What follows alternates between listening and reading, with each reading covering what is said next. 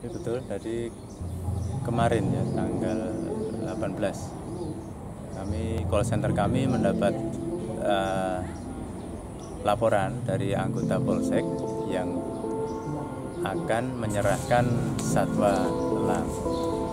Uh, anggota polsek tersebut dapat penyerahan dari masyarakat.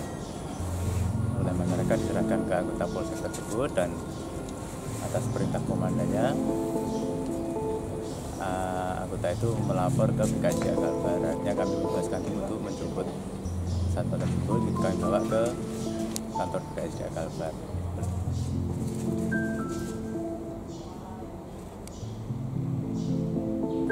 Itu jenis elang brontok.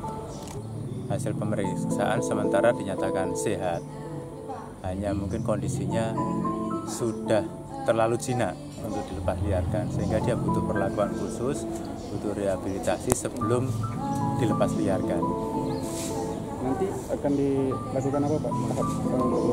Ya sesuai dengan kondisinya meskipun dia sehat tapi belum siap dilepas liarkan, artinya kalau dilepaskan nanti juga dia belum tentu bisa cari makan. Kita akan bawa ke kandang habituasi kami di Tanjung kawasan konservasi Tanjung Belimbing di Paloh. Kami ada kandang untuk habituasi di sana. Di sana kita rawat, kita kondisikan sampai dia siap untuk cari makan sendiri. Baru nanti kita lepaskan. Ya, jadi uh, masyarakat harus paham ya sebenarnya alam ini sudah diciptakan sudah sangat seimbang. Ada satwa liar, ada pohon, ada segala itu sudah sangat seimbang. Hanya kadang-kadang ego manusia itu yang mengganggu keseimbangan itu. Karena nafsunya ingin pelihara satwa merasa keren. Tapi kalau itu menjadi tren semua orang pelihara itu berarti akhirnya keseimbangan alam terganggu. Jadi kami mengimbau kepada masyarakat satwa liar itu lebih cantik kalau dilihat di habitatnya.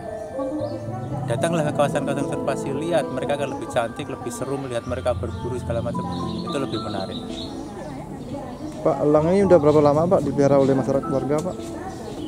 Uh, tidak ada tidak ada data sih bahwa dia sudah lama dipelihara sampai kapan. Cuman lihat kondisinya dia sudah jinak sekali. Mau dipegang ini sudah tidak agresif ya, sudah hingga di tangan segala macam.